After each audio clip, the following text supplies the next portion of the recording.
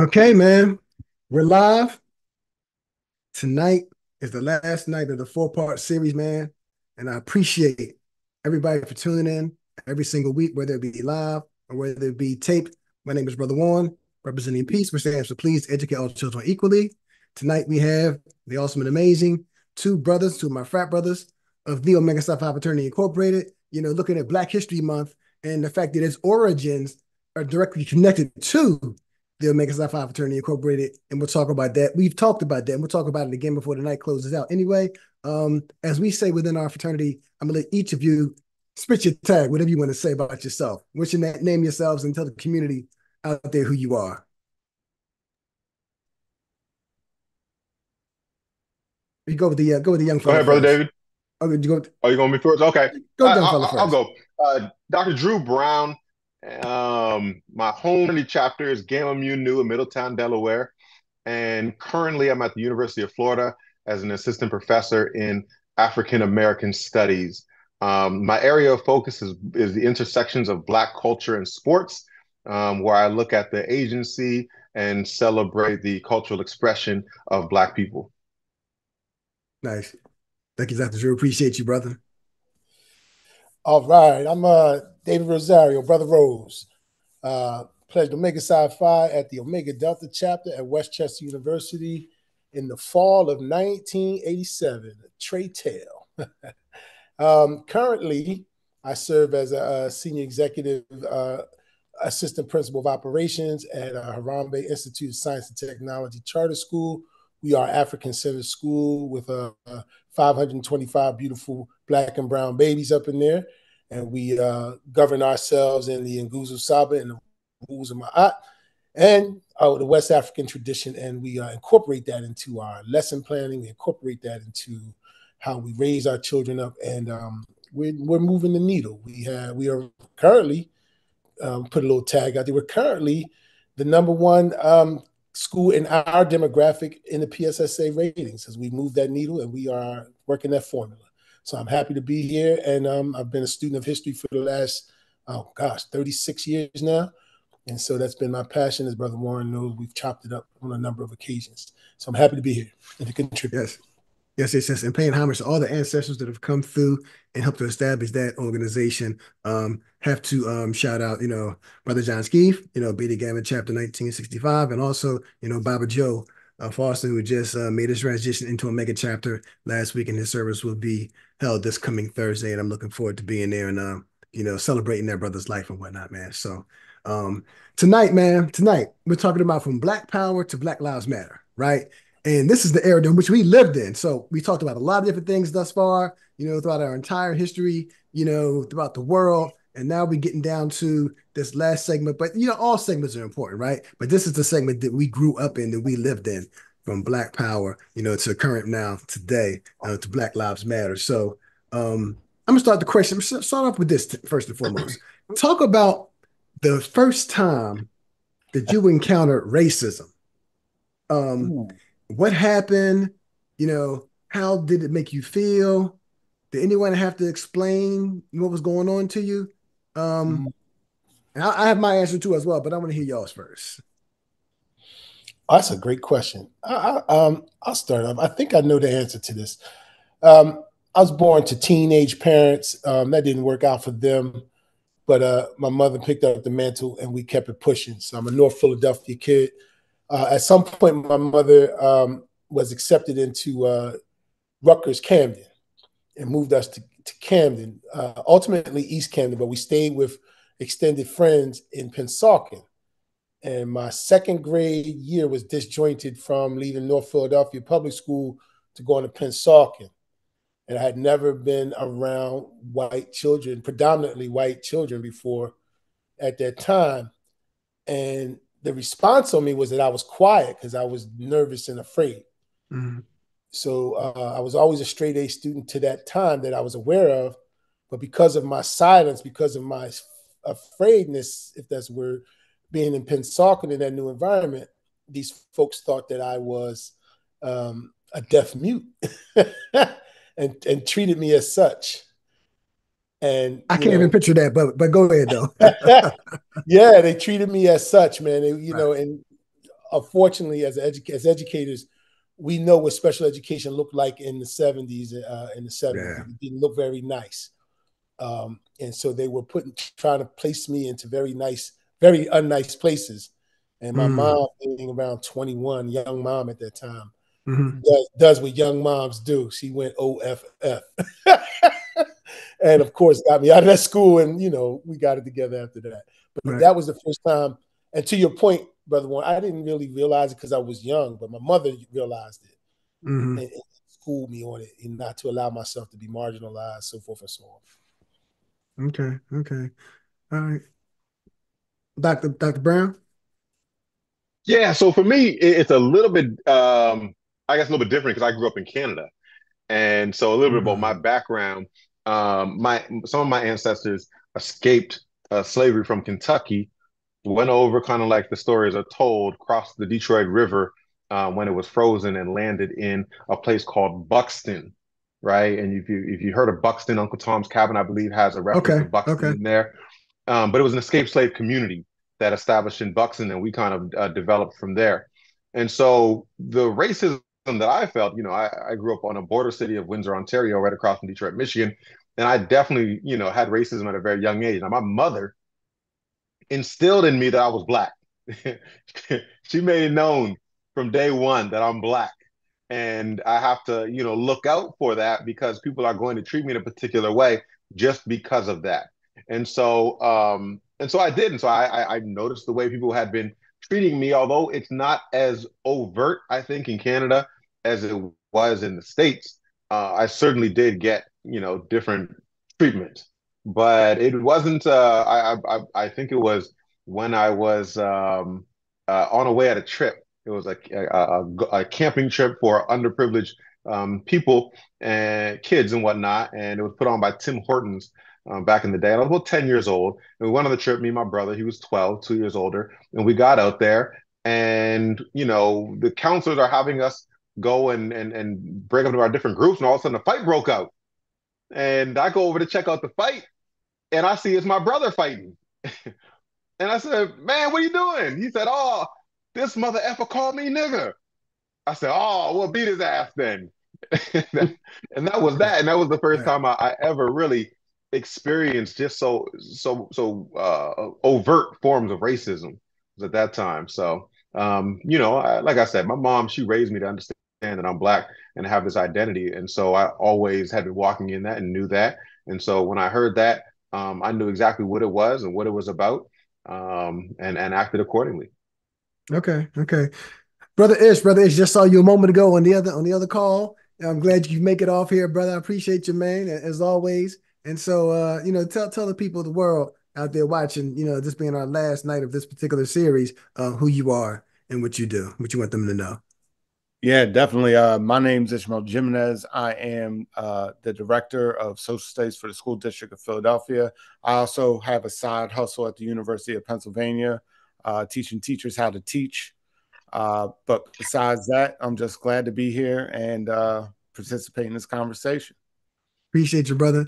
And so tonight, this first, we opened up a little conversation. The question: um, the first time that you experience racism, right, as a child, and what was that about? Did anybody, you know, had to explain things to you? You know, just you know, go for that. Um, well, my parents uh, moved me uh, pretty young to uh, the suburbs outside of Philadelphia.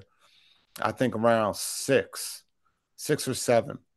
Um, and from my first experience uh, attending a majority white school in the North Penn School District, yeah, I'm naming mm. it. Um, I remember uh, students, you know, and I ain't dark, y'all, uh, calling me the N word. Mm. Uh, but my mother, who was like the only black girl who grew up on, on her block in Liverpool, uh, definitely spoke to me about race from a young age. So, like, I was already processing what that meant, uh, meant, but it culminated in fourth grade with like a major racist incident with a teacher uh, when I rose my hand to try to answer a question and I started stuttering and the class laughed and the teacher's like, oh, don't mind him. His people talk like that. Mm. Um, and I did not know exactly what that meant. You know, my mother being black, my father being Dominican and Puerto Rican. Um, even though I say Jimenez, that's because I didn't even know it was Jimenez until I got older. So I, did, I was unable to contextualize at that exact moment exactly what that meant. Uh, but the librarian heard about it and gave me her original 1965 copy of the autobiography of Malcolm X.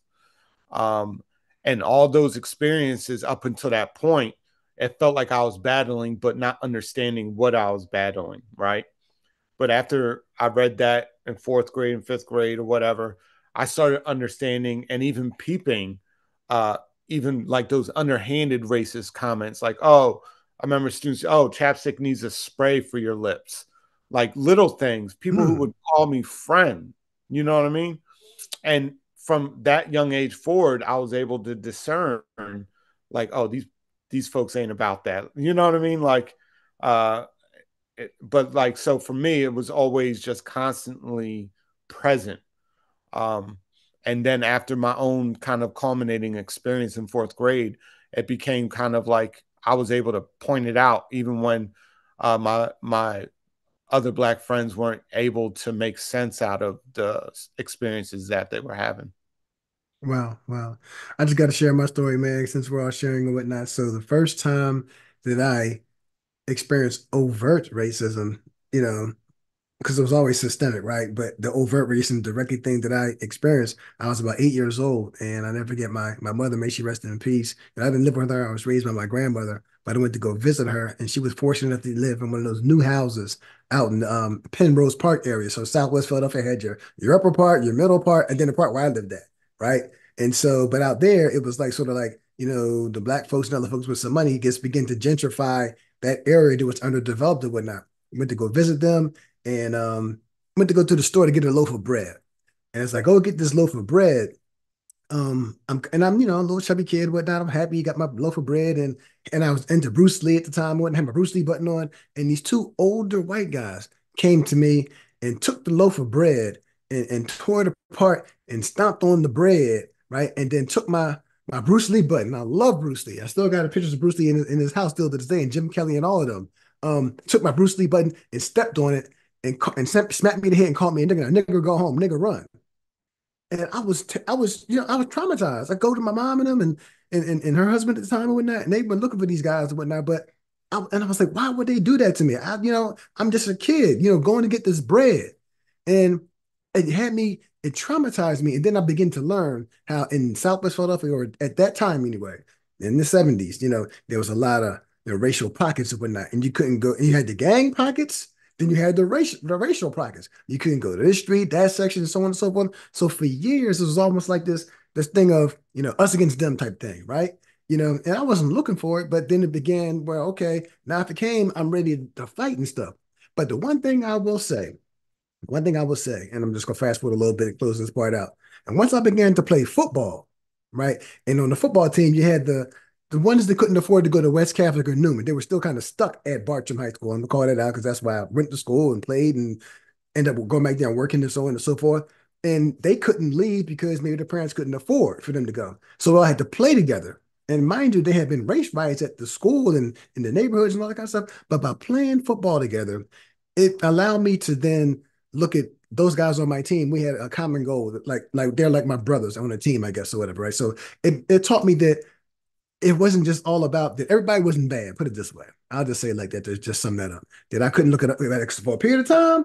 I was like, yo, ever since that eight-year-old me, where it was done to me, it was like me against them, them against me. But when I played football, it began to open up my mind to different people and cultures and so on and so forth and whatnot. So, but the eight-year-old thing, like what kid eight years old needs to go through something like that, as well as anything that we've gone through, right? So that's in the 70s and 80s and so on and so forth, depending on, you know, what your age is. So when you first got the knowledge of self, right? The knowledge of self, how did that make you feel? And how did you begin to exude, you know, black pride? Anybody can take that question first. Yeah, let me, well, uh, you know, so I look back and now that I, you know, I'm gonna, I'm an African American studies practitioner, right? Africana studies practitioner. And I always look back on, you know, my teenage years and say, you know, I wasn't real sort of, you know, black power this and black power that. I don't think I was. But um, I, I remember when my football coach from high school uh, we had a conversation before I went away uh, on on my football scholarship in Pennsylvania, and he said to me, the white coach, right, knew I was going to a predominantly white school, and he says, "Now, don't go over there talking about all that Black Power stuff." And I look at his comments and I say, "Was I really that?" in it? Was I really did I really exude that much about my black pride and all of that? And I, I, I think I did. I saw the movie um, Panther with Mario Van Peebles, mm. and that movie right there made me. I was a fan of the Black Panther Party after that. It was like this is my style right here. You know, I, I was a football player. Um, I, I, I, like I said, my mom, she really instilled in me this black identity, and I wasn't really going to sit back um, in the ways that the civil rights movement did. But when I saw that movie and I saw, you know, these brothers out here being more aggressive about their self defense, I was like, that's my style right there. And it gave me so much pride and I took it and ran with it. I was I was going to embrace the power um, from when I was 16 years old and saw that movie for the first time. And that's nice. kind of what it came from. Nice, nice. Oh, you said you showed that movie, brother Ish? Oh yeah, man, Panther. The students love that John. Like they would ask me, I would, I would. Let's just say, folks, folks love that movie, and it's consistent, and it's no coincidence that you can't really find that movie anywhere like that anymore. Mm. Uh, hmm. even when I found it to show to my students, because I was like, "What's that movie called?" What I watched when I was younger that I want to show my students. I had to go out my way and had uh, a friend of mine find it somewhere because the DVD itself was, was over three hundred dollars, um, mm. and then you couldn't find it anywhere else. So it's on YouTube now, but before okay. it was very hard to find. Okay, okay. Who else wants to take that question? How did it make you feel when you got that that that first that that taste of that knowledge itself, and it be, began to exude that black pride? How did that how did that go for you? Either of you. Ish Rose, either one of y'all. Yeah, yeah, I know. Um, for me, it it um, as I was listening to uh, brother brother Brown speak, it's like you get to you gather these puzzle pieces along the way. Like we spoke of our first time going a racist experience, and you know you listen, sitting at the table when you listen to holiday talk by your family. You know those little pieces we start gathering, but it's never activated. It's just in there. And mm. you just know intrinsically this is what I'm supposed to do. This until you have that moment until you have that moment. And that moment for me was uh, we had just broke football camp at West Chester. I was a football on football team at West Chester, and it, you know, got my my uh, like my lanyard on, my flip flops. You know, going to get a Slurpee because it's summertime. Right. Finally getting into my dorm, so forth and so on. I had just finished from Superman to Man by Joel Augustus Rogers. My first African centered book I ever read was J.A. Rogers' Superman to Man and um, those pieces were still swimming, and I'm figuring this thing out. And these four white boys in this Nova roll by, and like, nigga, go home. And about one in the morning at West Chester, on a hot summer night, I'm in the parking lot of 7 Eleven. I said, make me. They turned the car around and came in the lot. And, you know, it was what it was. uh, and you know where I was, you know, uh, brother, brother Damon, you know, you exactly. played a couple of sports. You played a couple of sports, man. So they picked the wrong one that night. I'm sure. Picked the wrong one. Played a couple seven of sports. Cop cars later. seven cop cars later. Yeah. The owner of 7-Eleven comes out and he says, "They said take the handcuffs off that young man. It's not his fault that they can't fight." Yeah. But you know, it was the dichotomy of before I would have maybe been. Now I was never timid, but I wouldn't have wanted to say anything. Right. I would have been like, yeah, whatever, man, keep it, keep it pushing. But there was something in me after reading that book, after experiencing that, and being in this environment, and probably the testosterone of being in shape after football camp, three weeks of football camp. You know, it's like I'm not putting up with this no more. Let's go. Mm-hmm. Four against one didn't matter if it was forty against one. I think that culminating moment just popped out. Right. I wish it would have popped out a speech versus a fight, but right, it popped right, out right. when it popped out. Right. So all those pieces and everything it just activated at that time. Right. Wow. There, there, there what's interesting. What, what, what, I was gonna say what's what's interesting about kind of like how you how you uh how you describe this, and I think how you know a lot of us are, are talking about these ideas of encountering racism and then getting into sort of a black pride, prideful identity. Um, mm-hmm. What we're basically ascribing in an academic sense is this is this model called nigrescence. And nigrescence was this model by William Cross, right? Really light skinned brother um, who came up with this. Um, why did I mention he's light skinned? I don't know, but it's it's interesting, right? I feel like the, the light skinned brothers be the most powerful one. That's so wild. Me and my wife, we talk shoulders, bro. We got you know? we talk about that often, man. The, the light skinned brothers yeah. like the most active out there doing right, It's all good though. We need all of it. We need all. We need all right. right. I mean, Malcolm gave gave us the way. Malcolm gave right. us the way, right? Right. Right. Um, right. but he, he created this model called nigrescence. The nigrescence model is the model of black identity development and what it does, it has stages. And so he outlines these stages, and there are some, you know, issues that that many people have with some of them, but all in all in all, many people do agree that there are stages. The first stage, right, is um is like this encounter stage where you first encounter um racism, right? And it's this notion that we hadn't really been sorry, first is pre-count, pre-encounter. But we're taught that we live in a meritocracy, but we're taught that um, we're all equal, all of this stuff. That's the first stage. The next stage is the encounter stage where we get exposed to racism and like, what happened? I thought y'all said that we're all equal. I thought you guys said that that that that um that this is a meritocracy and all of that. And now here I am being called the N-word and, and being locked out of places. And so then we become uh, a little bit upset with that. We go one of two ways. We either immerse ourselves in our blackness or we try to somewhat run from it. Mm. We try to try to get away from it and be like, oh, I'm not like those other blacks right? And then we start to sort of wrestle with this and become a little more balanced in the next stage. And the final stage is we utilize our positions and do what we can to try to do some uh, um, social activism and things like that. And so these are the different stages that we encounter. And so as people are going through and talking about, you know, the things of countering racism and how that impacted their black uh, black identity and engaging in black power, it just really reminded me of the different stages of nigrescence Right, right. Yeah, I, and uh, I'm glad you pointed that out because a lot of brothers that I knew that I grew up around did exactly that, what you just described. And unfortunately, some and I, another piece of that is to cling on to the idea of what blackness represents within this society, which is a whole nother layer when it comes to how people orient themselves towards each other and what it means to be black, right? Um, and some people accept what I call like a cartoon character uh, perception of blackness, um, especially the folks, some of the brothers I knew uh, in in in North Penn, right in Montgomery County, where they were like, "This is what it means to be," right, and then behave in that type of manner. While some other brothers I know rejected it in another way, where they're trying to assimilate and be like, "Oh no, it's not like that." You know, I, this is my friend. You know, um, and then I would always be like, yo, what's wrong with you?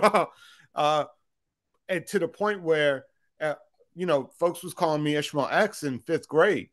So like, you know, how p- people point to that moment that like they started to like, you know, become much more militant. Like I, I think I had to tame down my militancy in fifth grade because I remember when I was even in sixth grade, I used to write like, you know, uh, Black Power on the Malcolm X John. I used to write on, and this is sixth grade, y'all. Um, and I didn't know exactly the nuances. I just defaulted towards those positions, right? And yeah. especially supported by my mother and uh, all the stuff that I was reading at a young age, like being introduced to the Panthers and stuff, like you know. And this is the this the uh, mid '90s, early '90s. You know, the Africa medallion with the the the Kufi John on, and I was all about that life at like you know fifth, sixth grade. Um, and I guess it goes back to that light skin type of anger, anger. But I think it also speaks to kind of like what you just brought up. I was confronted with it, but then also uh, provided the tools, right, to put my anger in a certain vehicle, right. Um, of course, I had to learn over time. Not all not all white people are evil. And I think that was kind of also articulated here a little bit, mm-hmm. while also at the same time, like King also realized, wait, there's a lot of them like that. Mm-hmm. mm-hmm. Um, and I, I think that speaks to kind of the experience um, based on where you're at. And yeah.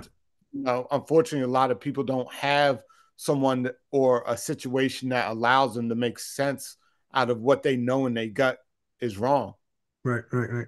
I guess for me, you know, growing up, you know, I always had somewhat of an exposure a little bit here and there, like 12 and so on and so forth, whether it be my father being a member of the nation, um, you know, and getting that whole experience when I have an opportunity to attend the Harambee Day Camp that was started by John Skeet. And my father sent me there like two summers in a row. It was at a uh, White Rock Baptist Church, I guess, or whatever, um, up on 52nd and near Chestnut, I guess, or whatever. Um, we would go we would go there uh, for day camp and I would get exposed to Nguzo Saba and the rules of Ma'at like 11 or 12 years old. I didn't know what they was talking about, but I, I began to feel something good about it. But when it really, really hit, similarly to you, uh, Brother Rose, being out there in that area, you know, Cheyney's only seven miles from West Chester, and we're actually pledging. And I have to talk about this story. We're pledging. And you know, sometimes at night they would leave us places out there and we had to find our way back home. I'll just say it like that, right? So one so one of those nights, they left us out there, and had to find our way back home. And we saw this light, this bright light right? So we started going to the light. It was like in this farm, this farmland thing. And it was literally folks out there burning a cross out there in Chester County, right? And so we saw that. We all ducking down, like, yo, what's going on? We knew what that was, right? And so we're not supposed to go that way. So we like we had the the camouflage on, they couldn't see us. It's nighttime, it's dark and whatnot. And we go back the other way. So then after that, that's 85. So then you're talking about what happens in 86 to 87. Boogie Down Productions, Public Enemy. They come out. I mean, the conscious rap music began to came out because of Cheyney, awesome school, love my school, but it wasn't like there was an African American curriculum there for us. Like, and the thing about it is, the majority of places that offered those degrees at that time, anyway, were all the PWIs. You had to go to like you know, you know, Temple, UCLA, wherever you had to go to get that sort of degree, right? At that time, but then have an opportunity to hear that music and then begin to buy these books, right?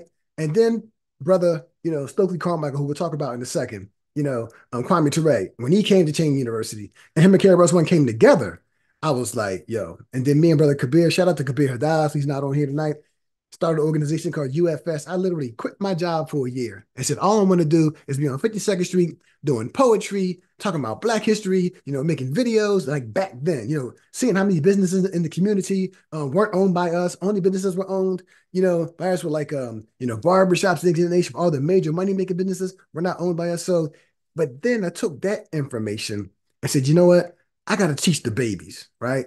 And that's what prompted me to go back to school, get my master's in education, and start going into schools. Because I knew in the schools, if I wasn't getting it, they weren't getting it. And my job was to go back in these schools and in between the curriculum, give them something that they could um, you know, grow from. Shout out to brother um Ryan Harris out there doing great work his uh, foundation called As I Plant the Seed. It's the second grade young man, once upon a time. Now he's you know 30 something years old, doing major work out there all over the country, you know, helping out the people and whatnot through his organization called As I Plant the Seed. So um, I'm gonna show a couple of slides and keep it pushing. Yeah. Brother Warren. Yes, sir. I was you, you said something that just took me so far back. I, I a, a quick aside, my my line brother had we, you know, trying to find our way back in a certain situation or 2 uh-huh, uh-huh. uh-huh. He thought it was a good idea to knock on his door for directions. in Chester County in Chester yeah. County. Oh yeah, and, yeah, yeah. And, the, and the, white gentleman with the shotgun. Yeah, yeah, yeah, yeah, yeah, yeah, yeah. On that yeah. yeah, yeah, yeah, yeah, yeah. oh man, I, I, was. Oh, sorry. I, I was saying I was uh, first time I drove from Atlanta to go see uh, one of my uh, best friends. He the bros. My best friend played football in Jacksonville, and uh, um, he was playing in the NFL, playing in Jacksonville. So a couple of my my mentee, a couple of my boys, we jumped in the car, driving from Atlanta to Jacksonville we're talking, we're just grooving, whatever. And all of a sudden, I look down and the gas light is on. I was like, oh man, you know, understand Atlanta, Jacksonville. So we see that there's um there's one stop for gas right here, and the next stop for gas isn't for like another 15 miles, 20 miles. So we pull over, go down this side road. It takes us about half a mile down the road. It opened up a little bit, this gas station nothing but Confederate flags all over the place. Ooh. Three brothers in the car, mm. a gas station full of Confederate flags. We say, you know what? We'll take our chances with the next 15 miles. That's real, man. That's real. And, and, you know, the thing about it is, you know, in Pennsylvania, Um, I can talk to many experiences like that in Pennsylvania, man. I just, you know, we can talk all night just about this alone. But uh, let's get to a little bit, little bit of content. But yeah, Pennsylvania, man, yeah, for sure. So let me uh share my screen here. Okay, so from Black Power to Black Lives Matter, and um, again, you know, fair use statement, all this information that I'm going to share here is for educational purposes only. So no profits being made off of this. It's just sharing information for the community and for the world at large.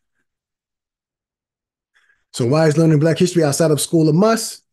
Every week, we continue to say that we have these 12 states that are quote unquote mandated to do so. But as we know, um, in many cases, it's uh, a checking of a box, you know, and a shout out to the teachers out there within these states, as well as anywhere else in the country that are actually doing the work, that are actually being revolutionary, what I would call using um, the practice of revolutionary pedagogy um, that was made, you know, coined by um, Dr. Molefi K. Asante, right, in his book, Revolutionary Pedagogy. They're still doing the work in spite of you know, the states or the systems not sanctioning it or not making it a mandate thing. Shout out to Philadelphia for doing their thing, for being one of the. Were we the first? Was Philadelphia the first to actually make it a graduation course? I know there's only one of yes. a couple, but first, right? Yeah, yeah, we were the first. Yeah, yeah, we're definitely the first in that. And um, continue to keep doing what you're doing, man. impact that work is definitely necessary out there, man. You know, so when we talk about, you know, programming taking place outside of school. I was in Cincinnati this past weekend for an event, but had an opportunity to attend um, a STEM workshop, you know, through our organization. We do a lot of things for the youth. And this particular video clip, I was like, oh, I got to tape this real quick. Brother was talking about Dr. Carter G. So make sure y'all can see this real fast. We were doing Negro History Weeks. But then a school in Ohio, Kent State, actually celebrated the first Black History Month. Did you know that Ohio had the first Black History Month celebration, whole month? And that's actually the House, and that's actually the men that celebrate. They call it Kumba Month. And then it was six years after that that the president, President Gerald Ford, officially recognized February as Black History Month. 50 years later, after my beautiful fraternity started Negro History So now you know our connection to February.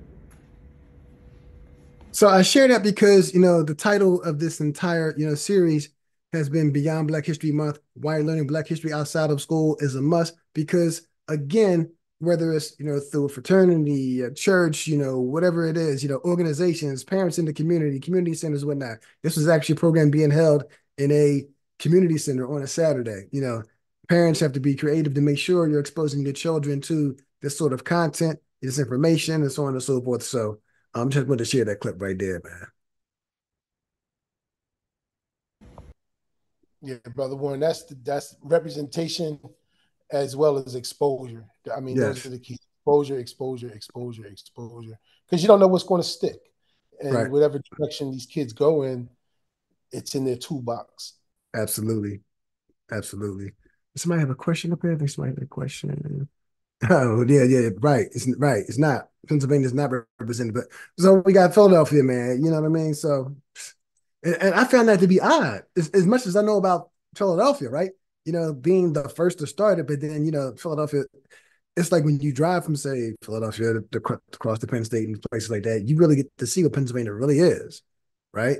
You know, but I'm glad I grew up in Philadelphia. So, and worked in Philadelphia for all those years. So I'm kind of spoiled, right, to the content, you know, to the fact that we have opportunities to teach the content. And it's still a work in progress, right? But, you know, at least we had that opportunity in a space like that, man.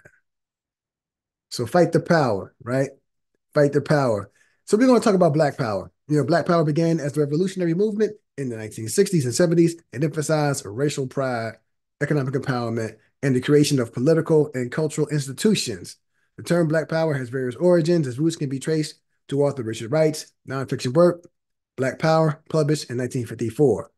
And then also just jumping down, you know, during the Meredith March Against Fear in Mississippi, the Student Nonviolent Coordinating Committee, SNCC, chairman Stokely Carmichael rally marches by chanting "We want Black Power." So, um, you know, Kwame Ture, you know, also you know known as Stanford, you know, Churchill Carmichael, and he was born and he was Trinidadian, grew up in the United States, and from age 11 he became an activist at 11 while attending the Bronx High School of Science. Right now, here is a small clip of when basically Black Power. I have a few minutes, only five, so if you'll allow me, maybe I can say things that needs to be said in this country. That needs to be said in this country. And that's what I want to talk about. Now, I want to talk to black people across this country. I want to talk to black people across this country. There are four things we have to do. Number one, we have to stop being ashamed of being black. We've got to stop being ashamed of being black. Number two, we have to move into a position where we can define terms for what we want them to be, not what racist white society wants it to be. We have to move to define. We have to move to a position where we can feel strength and unity amongst each other from Watts to Harlem where we won't ever be afraid. And the last thing we have to do is to build a power base so strong in this country that will bring them to their knees every time they mess with us. So I'm going to stop sharing that video right there. So when you see clips like that, or just you know your own experiences with brother uh, Kwame Ture, you know Stokely Carmichael, um, how did that exposure of what he was saying resonate with you, or anything that he may have done? And anybody could take that. when I, when I think of Kwame Ture, I think of how the Caribbean influence, you know, um, plays a major part into our movements, and I always wonder: is it the, you know, is it the 93 octane of uh, oppression versus the 89 octane oppression? Is there a difference in the oppressive state that makes some of the seemingly Caribbean brothers come here with less of a filter? Mm. You know, uh, or, you know, I'm just wondering because that, that gas is coming from a lot of the brothers in the Caribbean, not to underscore, you know, the brothers, of course, in the States and the sisters in the States, but it just seems like that that those fire starters, that that that Marcus Garvey, you know, that that Kwame Ture, those, those, those brothers from the Caribbean have a different kind of fire that comes with them, you know, when they bring it. So I was just uh, that's one of the things that stuck with me as he as he talks. Okay. Yeah, I mean, every time I hear that brother, man, um, I always think of of him as he got older, and he always uh, talk about the duty of the conscious is to make the unconscious conscious. Um, and I also think about the fact that just like W.B. Du Bois, right, um, that he left this country. He didn't think it was possible to achieve uh, black liberation here at that point, right? Uh, first, you know, through forcible exile, but then choosing to stay. Um, and even to the point when he died in 1998, uh, Kwame Ture swear up and down that you know that that cancer was given to him uh, based on his politics. So, like, I think his honesty, his commitment to the people was unwavering. Um, and I think that is demonstrated right there in him trying to refocus the conversation. And if you ever read his autobiography, that's what he always talks about when he talks about himself um, about the need to refocus the conversation, to be intellectually honest uh, about what folks are facing, um, but also yet not be afraid of of standing up against a monster. Um, and uh, you know the coverage in the Black Power mixtape, which is a great documentary. If you've never, if folks never seen it, I strongly suggest it. Uh, Black Power mixtape, and this was real footage by Dutch film uh, photom, uh, filmmakers who actually recorded folks in the Black Power movement. But there's a great part with Stoke, uh, Stokely when he was still Stokely, with his mother talking about and his mother talking about how she's afraid of him and he was going on about this is necessary Um, so yeah, there's some there's some different type of gas in them Caribbean brothers. Um, but that is definitely uh Stokely represented that kind of like disillusionment that was described by Dr. Brown earlier, uh, being brought into this country and being told that this is the way forward, and then looking around and seeing folks that look like him being pu- purposely kind of held back within this society.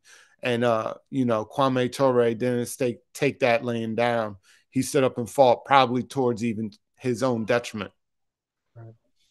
Yeah, I, I think that he had the same level of honesty and commitment um, to being sort of uh, um, truthful as Malcolm did, right? And we can draw connections between Marcus Garvey and Malcolm and and and and Kwame Ture, right? When you look at these brothers and the way they talk, um, Kwame Ture, even in that video, and of course he goes over to uh, University of, of California, Berkeley, UC Berkeley, and gives a talk there that is similar where he's talking in the in the in the free speech movement and the movement against sort of the war in Vietnam and all of that, where he's not even talking just to black folks, but talking about how black power is not going to be used the way that white people want to define it, that black people are going to get to define their terms that they use.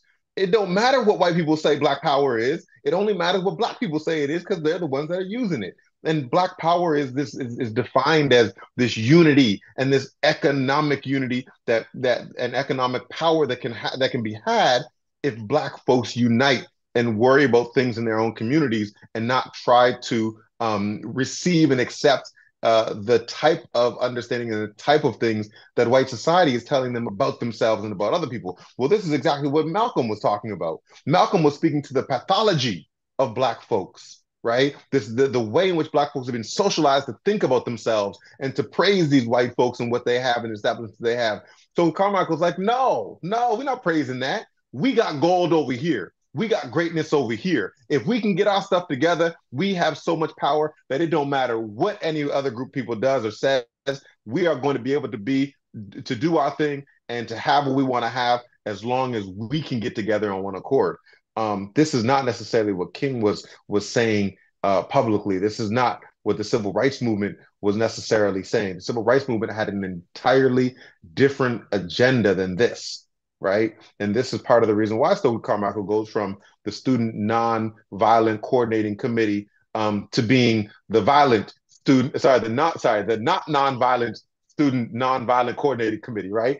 Um, that after a while, they, they they weren't necessarily not, not they weren't necessarily nonviolent, right? They were more self defense, and this is kind of where uh, SNCC and Martin Luther King and the civil rights movement have their divide. Um, but when I when I hear Stokely, I really hear someone who has a strong level of pride, a strong level of belief in the power of Black unity, and that's something that should be honored. Yeah. Yeah, watching uh Eyes on the Prize, you know, seeing like I have all the DVDs downstairs, watching Eyes on the. I have the VHS still in tub somewhere, but I also got the DVDs now too as well. You probably get get it online on, on stream somewhere, I guess, or whatever. But watching all of those, and then like I said, you know, when him him and KRS, one of the albums, I have several albums on, on my wall in my basement, and one of them is Edutainment, right? And Edutainment by KRS One, and that album like helped to change my life, right? Like literally, there's different, there's so much science in that album, and there's different elements of you know Kwame Ture throughout that album. When they came to Cheyney University and they both spoke together, it was just it was just amazing and whatnot. So definitely, you know, rest in power for that brother right there, and all the things that he's done, you know, throughout our history, man, during the um evolution in the beginning of you know Black Power. So can't talk about Black Power without going to the next group of individuals. And I believe, you know, brother Dr. Dr. Brown have talked about them a little bit while ago, you know, the Black Panthers. Now, you know, rather than, you know, sharing this link, I'm going to go and go to the next page. Here's, you know, Brother Huey P., Brother Bobby Seale, you know, who was a professor at Temple University for a while. Um, I don't know how long, I don't know if he's still with us or not. I haven't looked that part up. He, I believe he still is, just an elder, right? Um, but he was in his, you know, he had I bought his barbecue sauce years ago too, also as well to support the brother and whatnot. He had his business, you know what I mean? But um, let me share this next piece right here. So their origin, right? The Black Panthers, you know, they founded the Panthers in wake of the assassination of Black nationalist Malcolm X. and after police in San Francisco shot and killed an unarmed black teen named Matthew Johnson, right? So a lot of information out there. And you talked about the movie earlier called Panther. Um, the thing of it is, a lot of people when they think of the thing, the Black Panther and the way they look, they thought that they, you know, hated white folk. To the contrary, to the contrary. So this is a small clip of Bobby Seals speaking to that.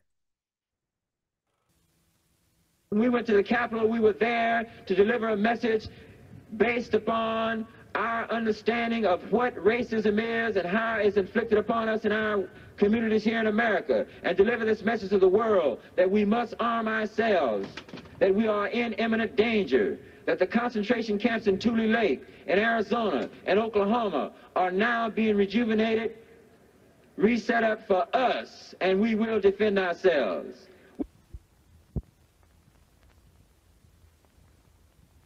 Examiner made a report back here in the last Sunday's paper that we were anti-white, that we hold no bones, this is a quote, hold no, pick no bones about being anti-white. We, This is a bold-faced lie. We don't hate nobody because of their color. We hate oppression.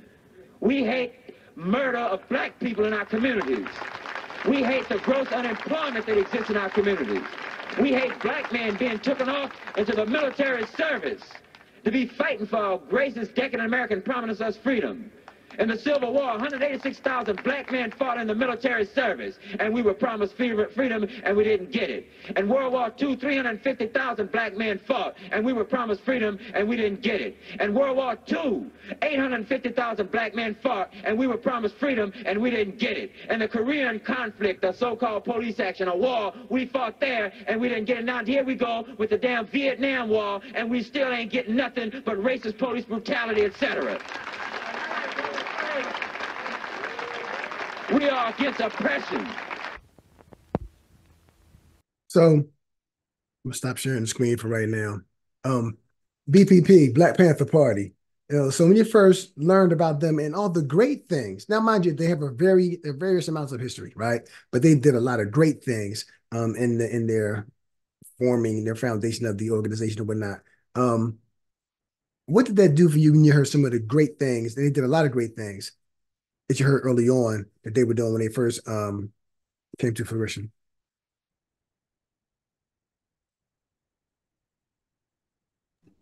The, the Panthers, for me, uh, being being a man of a certain age now, having coming on the tail end of that, um, the the idea that here's our our our um, wave of young men who have and women who have come through this educational system now now they're spit, spitting some facts as it pertains to the facts that they've been taught in these universities and flipping the script.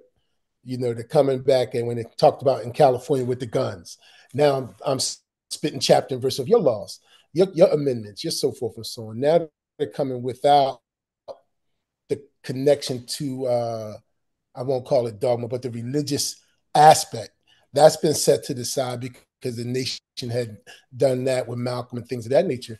But now we're coming with straight organizational, you know, fervor, and we're coming with language that you speak. We're using your language, your books, and we're flipping the script on you with your your concrete concepts, and we're appealing to uh, maybe, you know, I'll put maybe, maybe your humanity, because maybe that's one of the weaknesses is that we appeal to something that we have in abundance that maybe another group who oppresses maybe doesn't have the same amount. Mm. Um, you know, that's a whole nother concept. But I think that they were coming from a more uh, granular place rooted in some places where you could research and say, well, that's true. Well, that's true. That's true. And um, I think one of the things that I wish they had that the nation did have was ritual. You know, it, to, to, to, to I've read, um, I, I wish I could recall where I read, but one of the things that is a a guard against infiltration, if you will, is to have somebody go through something to get in. It can't be so easy just to get in. You know, you get to screen somebody a little bit harder, you know, learn something about somebody, just not throw them a jacket and say welcome. And I think that made it easy for some folks to get into some of our organizations and, of course, uh, harm us from the inside out. Yeah. Facts. Anybody else want to jump in there with, with that? Yeah, yeah. When it, when it comes to the Black Panther Party, my goodness, I think the Black Panther Party, uh, um, like was said, these were a group of educated individuals. Now, um, they're you know depending on what's how you're going to classify education. Uh, some of these brothers, like like you know Huey Newton, was was damn near writing PhDs and PhD level uh, thesis and things like that. They were required to read certain things off the reading list when they were in the Black Panther Party. They were reading Black Reconstruction. That's like a 700 page book, right, by Du Bois. They were reading Dying Colonialism by uh, by Fanon. They were reading C.L.R. James and Kwame Nkrumah and um, uh, um, um, all of these other things, Carter G. Woodson, of course. They were reading all of these books. They were reading uh, um, Das Kapital by Marx and them, right? Like they were reading all of these texts as they're trying to develop their philosophies and their outlook and their approach to dismantling these oppressive systems. They were for, they were against oppression. They were for getting with other folks that were um, oppressed, these other oppressed groups. They actually list and talk about how um, even the LGBTQ folks and their organizations they should get with because they too have seen a, a, certain level of oppression and they need to not distance themselves but come together in order to fight these these um these oppressive systems right like this is the black panther party we're talking about doing these things and so when we when we talk about them, I think it's important for us to acknowledge that um, it wasn't just that they are against white people; they're against oppression. And if white folks or white supremacy is at the root or at the head of this thing, then that's what they're fighting. Um, one of the things that uh, that that becomes, you know, uh, one of the things that becomes sort of the, their their biggest challenge is this idea of COINTELPRO, which I'm sure you'll get into. Um, but I think that looking at uh, this idea of of being anti-white, I think is important to acknowledge about the Black Panther Party. The Black Panther Party was not anti-white. They, in Stokely Carmichael's book, um, Revolutionary Suicide, what he says is a lot of people felt like the Black Panther Party had a death wish, like they wanted to go out there and they wanted to be killed by the police, that they wanted to seek death in their sort of martyred uh, positions. And he was like, nah, it's not that we wanted to commit and see our suicide. We don't want to die. We just can't see living without without our humanity. We can't see living without our freedom. We can't see living without liberation. And that's why they fight so hard for it. And I think that's a, uh, an amazing sort of position to take this sort of revolutionary act of putting everything out there and fighting for the liberation and freedom of your people, not because you want to die, but because you just can't imagine life without it. Yeah, man. And, and, and I think it's so deep too, you know, how young they were. You know, Bobby Seale obviously was like 26 when they started, but Huey Newton was 22 when he basically almost solely authored the 10 point program. Um, and I think that when we're talking about that youthful energy, that's also a year after Malcolm was assassinated. Uh, right. Uh, they've always considered them themselves children of Malcolm, an extension of Malcolm's legacy, right? Um, at the same time, they were also targets of the largest empire ever on themselves in a short amount of time. By 1968, and this is two years after they were founded, uh, J. Edgar Hoover said they were the greatest threat to American domestic security, right there. Uh, nation's yeah, internal security because of their free breakfast program. And Huey even made it very clear like these are survival programs. These are meant to give us enough balance and enough groundwork and foundation in order to actually develop the constructs necessary for revolution. Um, but like a lot of folks leave out the fact that they also started up free medical clinics, free ambulance services, free, you know what I mean, free clothes programs. Like they folks were had an analysis that was much deeper, but then they were also infiltrated much more harsher and and also kind of dismantled from the the inside out per se. Even when it came to the isolation of leaders like Huey, like there, Huey and Bobby Seale after 1968 weren't outside of prison at the same time until the mid 70s. Right. And I think that like folks like lose sight of the fact that the Black Panthers were not only targeted, but they were like explicitly pulled out and said, We're going to dismantle you and destroy you. And they went about doing that. And I, I view very successful, but it also speaks to the Panthers' legacy, the fact of how much it still inspires youth today. We referenced the Panther movie. When anytime Huey and Bobby outside that, that movie theater in the movie pull out the gun and the police came up and they stand up against them, I don't care where you at you have a full a classroom full of black children, you're going to get claps after that scene, and and then like senses of like strength, and that's really what the Black Panther Party uh, represented. Um, but we are naive not to learn the lessons um, that they they had to go through in the sense of misinformation. Because if you read the five uh, points or the five uh, tactics of COINTELPRO, it was not just discredit black black movements to white liberals. It was also discredit black movements to middle class black people. Um, it was also assassination, and we can point out Fred Hampton as one of the yeah. most glaring examples. But there's many other Panthers that were uh, literally just let out of jail, if not just died in prison to this day. Um, so when we talk about the Panthers, I think you're we're we witnessed that was represented the culmination of struggle, and then uh, a lot of folks in this country in power turned around like that's not going to happen again. Um, and uh, definitely one of the other points of the COINTEL program was to de- uh, delegitimize this type of movement for future generations. Yeah, and I think we have to ask, the, and I think we have to, we, we do have to ask critical questions and and and, and have a critical conversation um, just generally speaking not here but in general speaking on the success of the black power movement right what things came out of it because COINTELPRO was extremely effective where black panthers are still in jail now when we think of folks like mumia abu jamal right and when we look at these these folks we have to ask ourselves was that was was that the optimal sort of move, right? Was that the move? Um, I think that yes, brought us pride. Yes, instilled a level of, of, of black pride among so many people, right? But was it effective in the ways we needed it to be effective?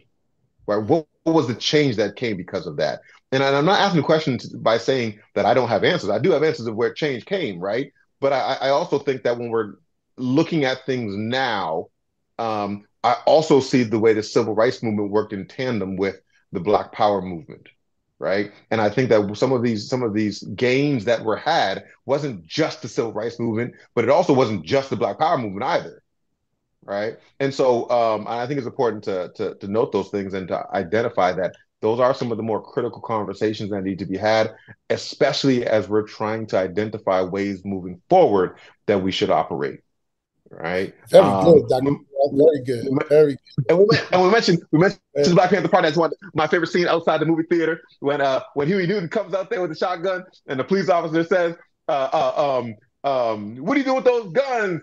And he says, uh, well, I have a constitutional right to, to bear arms, officer. And he says, Are those guns loaded, boy?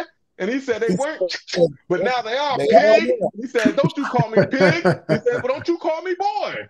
Oh man, oh, that was it. I'm telling you, man, that that John runs eternal, bro. I, I have students to this day that reference that John about ten years later. Yeah, Dr. Brown, I wanted to add add um, something from the from the uh, K to twelve educational world. One of the things we do um, uh, is when we find a, a blue ribbon school, if you will, anywhere USA, oftentimes they run a case study and they want to know how did you get to be a blue ribbon school? Were you doing, you know, uh, professional learning communities? What is your professional development value? You know, what is your assessment value? What are, what are you doing in your curriculum? They just kind of pull it apart.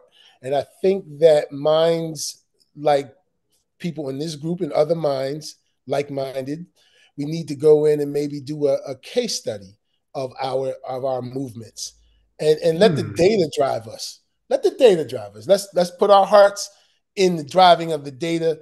And, and if it's a shortcoming, it's, it's a shortcoming. But if we're talking about how do we move forward, we got, got to dive in and, and, and own errors, own good things, you know, and just look at it and say, how do we move?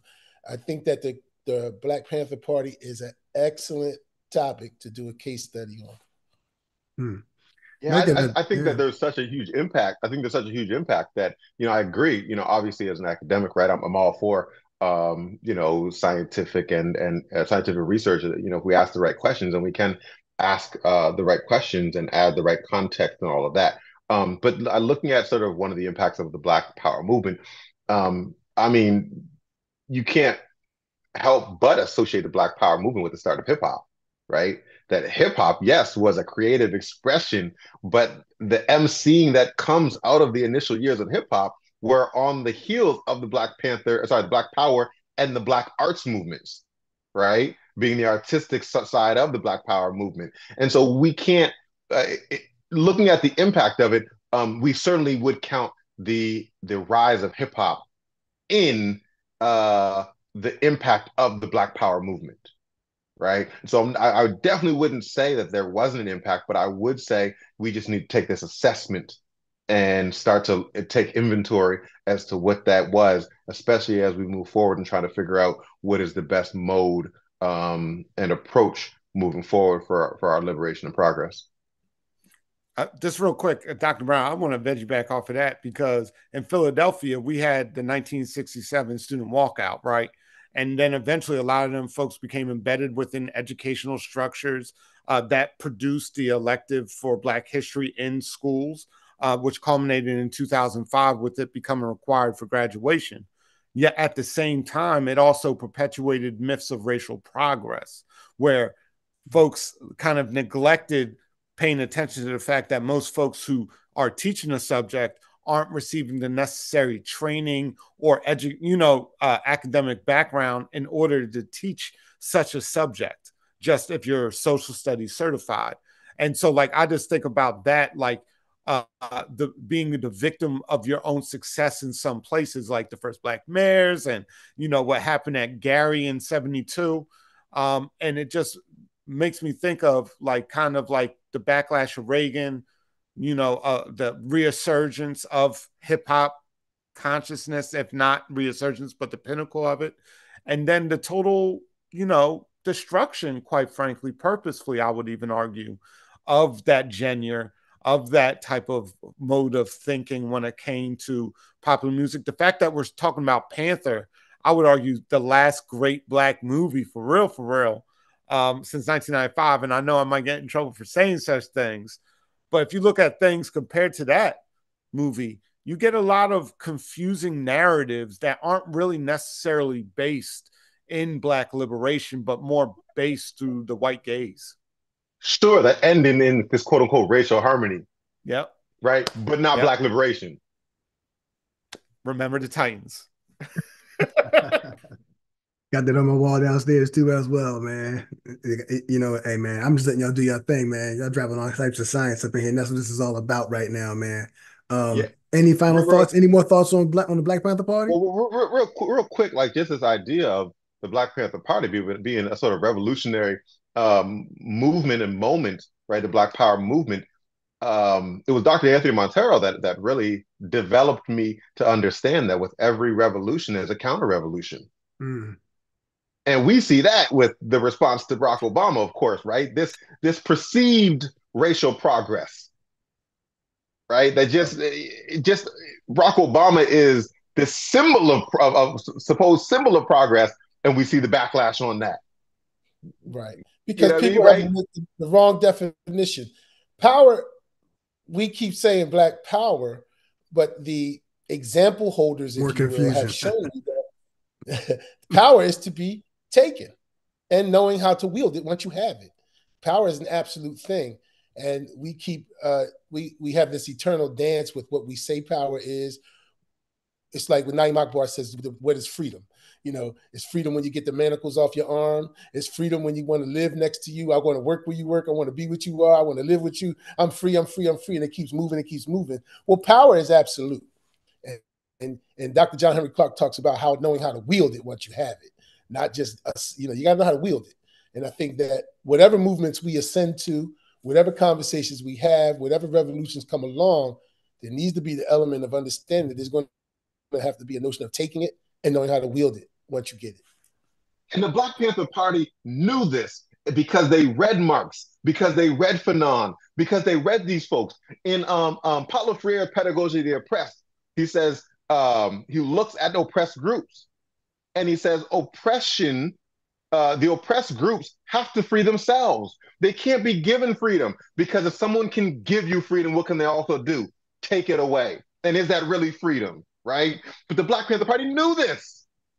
They knew this. This is why they fight the way that they do. They knew that they had to be the ones to liberate themselves and liberate, and, and, and black folks had to be the ones to lead the charge. Now, yes, other people can can help in doing in, in doing certain things, right? Like Malcolm said to the college, Malcolm said initially to the college uh, white girl that you can do nothing to help us, and then later goes back and says, "I wish I had her address. I'd write her a letter and tell her you can go to those white communities and tell them to stop being racist. That's what you can do."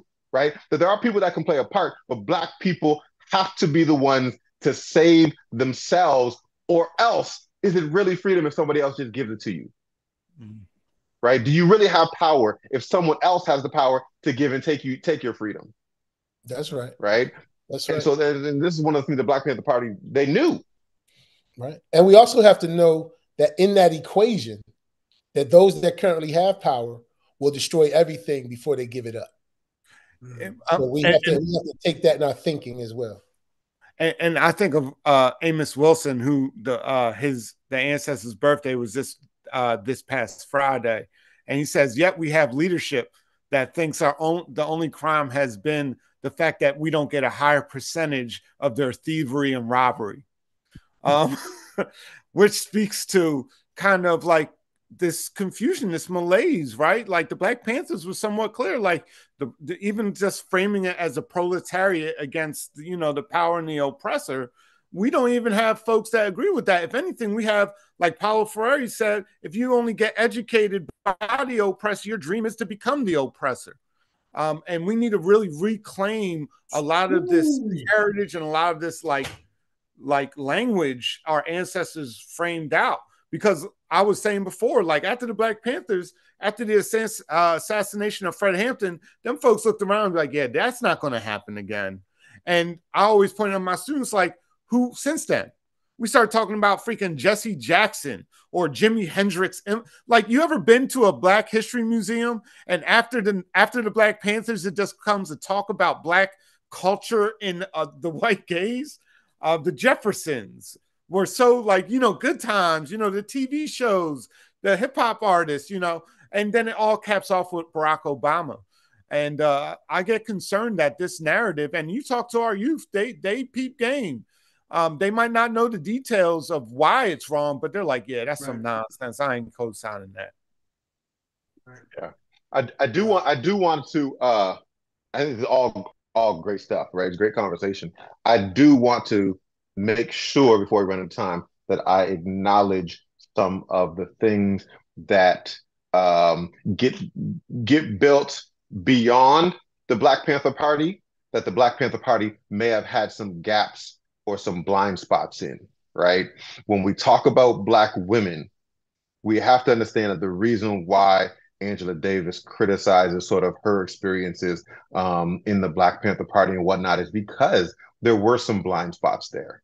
And I think it's important to understand that the Black Panther Party didn't have everything absolutely correct and right, right? That we just have to be um, we we we we can't be we can't romanticize uh, some of these things. And so I think it's but but I also think it's important for the Black Panther Party had to go through these things in order for folks to come behind them and sharpen our understanding of them. Right? To be able to look at that and say, here's where they got it right here's where we have challenges and need more improvement. And I think folks like Angela Davis and other folks came behind the Black Panther Party and work. And I want to just be uh, be able to acknowledge that. I also want to acknowledge the way that um, Assata Shakur came by and and and as um as as Brother David said, right, that adding some of the or criticizing that there wasn't enough African identity and African rituals and African um, cultural identity embedded in the party as well. And I think some of that then comes behind in order to sharpen our uh, understanding of the ways in which we should be moving forward.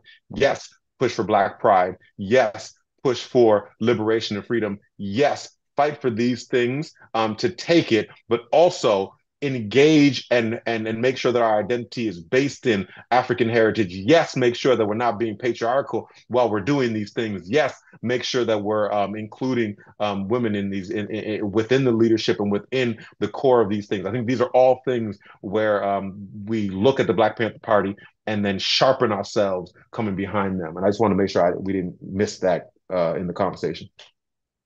Say, say what you just put in the uh, chat, uh, brother Ish. Oh no, just I was agreeing with the brother right okay, there. Okay, and okay. Even just like the devaluation that some folks in the Panthers even did towards what some folks, you know, call cultural nationalism, uh, black nationalism, even the idea of like pork, pork chop revolutionaries and all that. Mm. Um, which, you know, I I am and we're not naive enough to believe that the forces of government and oppression didn't use against people and against organizations to uh, to create and sow more division. And that's why it's very important for our youth to learn those lessons about how COINTELPRO was used, but even how COINPRO 2.0 works now. Mm-hmm. Um, because we would be under some foolish illusion to believe that the powers that be just step back and was like, oh, okay, we don't have to interfere into uh, black political uh, social thought. Um, and, you know, we can point out to other things of how that manifests itself today. Um, but that's a whole nother conversation. Man, listen, you know, if we can stay on this topic all night long, you know, I want to get to a couple other things and whatnot, you know, but this, is this is awesome and amazing. Those that are out there watching and, and taking notes and whatnot. And brother, is you want me to share that file now or share it later on? Would you just drop it in, in the box? Whenever. Okay, I'll cool. Just, I got you for sure, for sure. Yeah. You got to check out that, John, for sure. All right, so let me go ahead and uh, share my screen real quick. Get to the next topic. So this is a lot of stuff. We're talking about a lot of different things in a short amount of time. So just dropping seeds, planting seeds and whatnot. So those that out there listening, and just for the first time, and your children never heard this stuff because it's taking it back to the babies, it's because they don't learn these kinds of things in school, right? So now we're providing you parents and everyone out there an opportunity to get this information, have your kids come watch it, do your own research, and build up their toolkit on all these things. So we got the war on drugs, mass incarceration, and the new Jim Crow. Now those are three separate things, but they're all inter interconnected, right? So we're going to go semi quickly. So the war on drugs, you know, actually years ago there was you know, uses for medicinal drugs back as early as the 1890s, right? And Sears and Roebuck, I found this out, actually had a catalog where they advertised a syringe and a small amount of cocaine for a dollar fifty because it hadn't been outlawed. You know, that's crazy to me, but you know, let's keep it going. So talk about the evolution of that, right? Talking about alcohol, you know, smoking opium, things of that nature early on, right? And we know with alcohol now, what's going on now with alcohol, it's, it's, it's legal, right? And nobody's really going to jail or anything for alcohol now the way they did many, many years ago, right?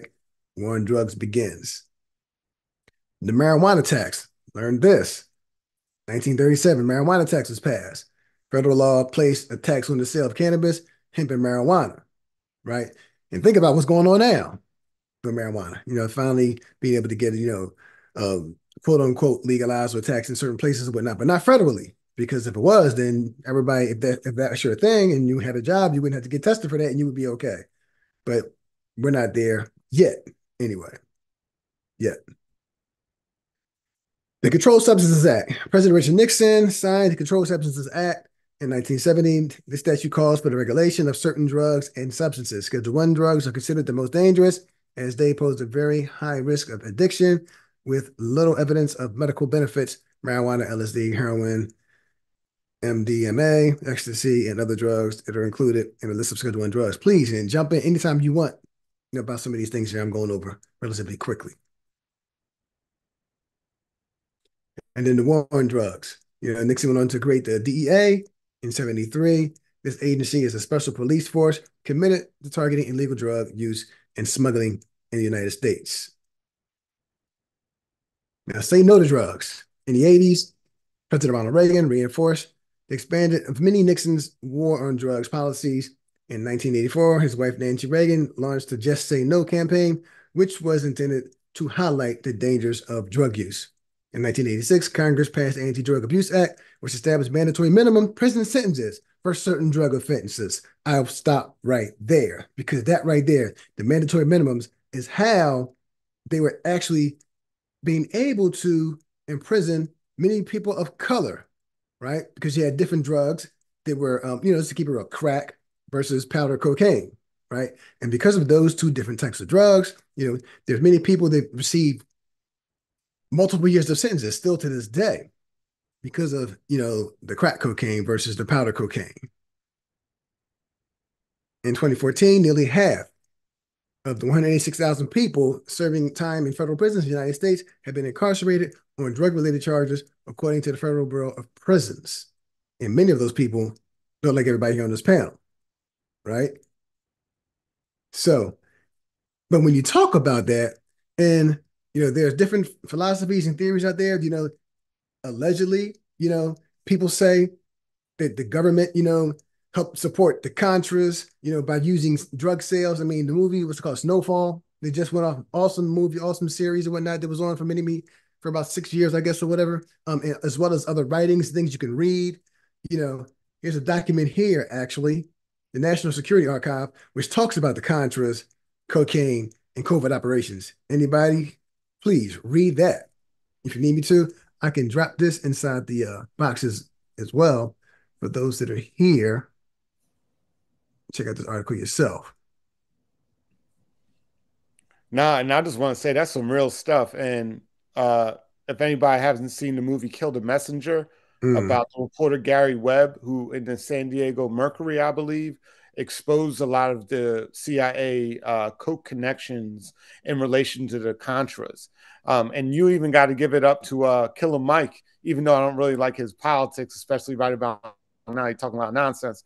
But in his song Reagan uh, from his first album, mm-hmm. he actually shows Reagan saying, We did not give money to Contras. And then turn around and say, Oh, despite what I believe not to be true, we did give money to Contras and part of that funding was funded through uh, allowing uh, illegal drugs to come in here in order for them to purchase weapons in order to give them to Contras in Nicaragua, and uh, it's heavy, man, and and and it's still a reflection of disposability that this society feels uh, towards Black people, and while at the same time feeling like the need to neutralize the perceived threat. I mean, when you talk about so let's let's, let's stay there for a second because you know I'm gonna go ahead and, and and stop sharing my screen. So when we think about things like that, as far as you know, drugs being allowed to be sold, and then all these different you know uh, liquor stores, you can go to some delis now, I guess in the hoods where they're giving out shots of liquor and stuff like that, right? And um, you know, then you got the gun violence whatnot. But you know, we don't really own gun shops like that. Now, I believe in the right to do whatever you want to do in terms of guns and whatnot. You know, it's all right. We can do it. That that's that's our thing. I, I embrace that aspect of it. But for the young people out there, they're getting all these. Where are they getting all these things from now? I guess now you can make them now too with these 3D printers. That's a whole nother conversation and whatnot. But you know, all these things that are just dumped in our communities and whatnot. You know, to basically, I think it was a um picture that I saw years ago where you had like the KKK and, and they show where so uh, they y'all doing the job for us essentially, right? They're doing the job for us. You don't have to them come and do anything to us because they put all these things and these systems in place and things in place and whatnot. Yeah, but going back to the drugs again, so we can do ourselves in. And it's nothing is is beyond you know reproach. When you think about the Tuskegee experiment, you talk about there was a book called Medical Apartheid. You know all those different kinds of things that were done right? You say something about this? uh, I, I, was just saying that that book, man, that kept me up, and I don't even like every time I think about that book, bro, I cringe. right, it's bad. I think I got yeah. over there somewhere, but, but medical you know. apartheid, the, the the the case of Henrietta Lacks. I mean, there, there, there's so many, right? I think that um, when we're when we're talking about these laws, when we're talking about these things that are done to black people, especially when we're talking about drugs, right? I think that looking at the difference between the different sentencing between crack cocaine and powdered crack um, is a framing of drug that is associated with a particular group, right? That we frame crack cocaine as being associated with black people, or, or, or it was, And that's why they were able to get away with that for so long of over sentencing people with crack cocaine. But I think that similarly, the way we talk about guns and when we associate a certain uh, type of gun use with Black folks, it's looked at as being so bad and so barbaric.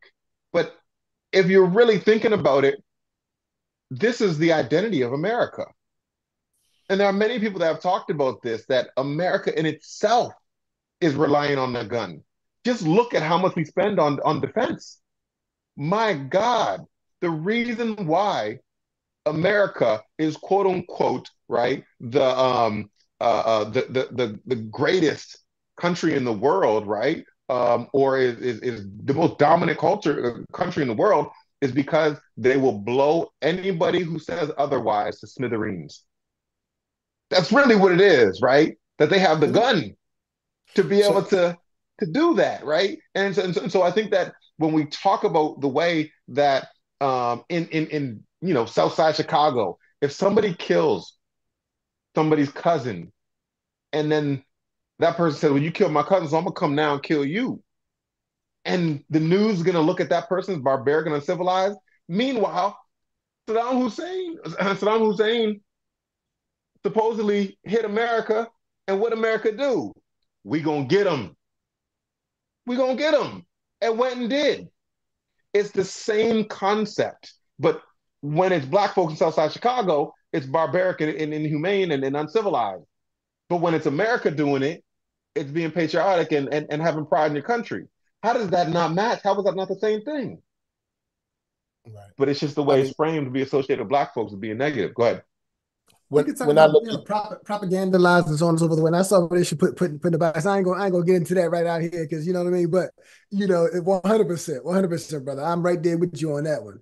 Um, but yeah, but it's like you know, when you control when you when you win the war, you control the narrative, you control the history, you control whatever's out there in terms of the media, so on and so forth and whatnot. And when you're in charge, you get to get to do that. Just for the chat, one hundred percent. You know what I'm saying? So, you know, great. You gonna say something, brother Rose? I was going to say, you know, when I when I look at a thing, whatever a thing is, I I start at thirty thousand feet and I work all my all my work my way down to ten toes on the ground. And so when I look at this thing called America, I look at this thing as here's a people that you brought here uh, to be agricultural. Mm. You you move forward, you go into industrial. But before you get into industrial, you get into the trades because those agricultural people came with skills and trades. But then you brought uh, immigrated people up in here to take over the trades. Now you get into industrial, then you get into technological. Then what do you do with this group of people that you have no further use for? That's my 30,000 foot view. We're the group that you had no further use for because you filled the spots in other places. So now you start kicking us around like the kickball. Now we're getting down into the 10 toes on the ground. Now it's the COINTELPROs. Now it's the drugs. Now it's the this. Now it's the 13th Amendment. Now we get mass incarcerate you. And now everybody's getting paid off of you. We pimping you out. We pimping you out. We pimping you out. And we keep your pathologies localized because, of course, there's going to be pathologies, you know, because we're doing this to you intentionally. We, we, we um, you have a Rockefeller Education Center that educational system that won't allow you to get but so far. You know, it's just so much, you know, that that we don't know our enemy, the diabolical level of our like Dr. Dr. Brown talked about, you know, how they look at it in the south side of Chicago, but we over here killing thousands, uh, thousands at a clip. And the, and the Navy SEALs talk about it after they declassify. Oh, yeah, we knocked off about 250 a day. So I'm just saying that yeah this is what they're doing to us. And, and, and we have to understand that this enemy or, or this opponent is supremely diabolical and skillful. And one of the things they one of the things when you said, what do you do with the people you have no more use for? Well, apparently you just go and lock them away. Because in 19, and they say this in, in, in New Jim Crow, Michelle Alexander says this, that in 1980, there were 200,000 prisoners in the US, right? 200,000. 30 years later, by 2010, there were 2.4 million. That's over 10 times as many, right? People incarcerated. In a matter of 30 years, you grow the incarceration system by 10 times, disproportionately being black and brown folks. Absolutely. And I would love to follow the dollar. You follow that dollar, you know, with that prison industrial complex, a lot of people that don't look like us got super paid. Of course. I mean, I, I think y'all describing America though. What's what's more American than the idea of killing for what you want, right? And unfortunately, our babies, uh, too many of our babies have internalized that, right? Yeah. Uh, what what is more American than you know the disposability of black lives. I mean, this whole thing is built and and and structured off of that premise uh, to the point where I would even argue, regardless of your racial identity or your ethnicity or whatever you call yourself, you can be pink with purple polka dots. If you can't admit that black people in America were never meant to be free, you hold anti-black views. And I would just it's as dramatic as that because this society by default uh, makes it the in, indoctrinated truth that something's wrong with you. Something's wrong with black people. That's the problem. Something's wrong. Oh, well, there's more, you know, the, the father's not in the home or something's wrong with their culture. And the, and the list goes on and on with what's wrong with black people, but we don't talk about the what's wrong with the structure that created the reality that we find ourselves in. And uh, I think that's a reflection of a lot of anti-blackness being embedded in the very uh, common sense nature of what it means to be an American. And, and, this is and this is and this is why I think it's important to um, understand like systemic racism, right? Um, but but I, I also think so. I say this in my class. I know running the time here. I say this in my class all the time, right? We go over systemic racism, right? We go over institutional racism. Then I say, well, how much of, of, of black people, generally speaking, of their successes and failures when black people when we say that black people are not are not successful as as much as other groups how much of it is attributed to them as individuals and how much of it is attributed to the systemic and institutional racism. They'll say something like a common one is 75% the system. Okay cool. 75% the system. When black people fail 75% of their failure system other 25% is individual. Okay we'll go with that. Well if we're to say that we're to say that black people 75% of them them failing at times is the system, then we must also say that 75% of the reason why white folks succeed is because of the system too. Yeah. It's a, it's a, it's a, in a capitalistic system, it's a give and take, right? It's, there's a finite amount of, of, of resources and, and, mon- and money and things like that. If someone gets rich, other people get poorer. If those people go back and get richer again, other people get poorer. Yeah. Right? It's a balance system. Well, if black folks are being held down, other folks are being held up. And if the reason why black folks are being held down is because of the system, then the reason why other people are held up is because of the system. Mm-hmm. I, I, yeah, I can honestly say, you, you know, so many things come to come to my mind. I can talk about my previous three years where I had an opportunity to serve as a as a principal of a juvenile justice facility here in the state, and in that space, I'm going to say 99, 95 to 99%, and sometimes 100% of the students, I call them students and scholars, they call them, you know, residents or inmates or whatever, were black or brown, right?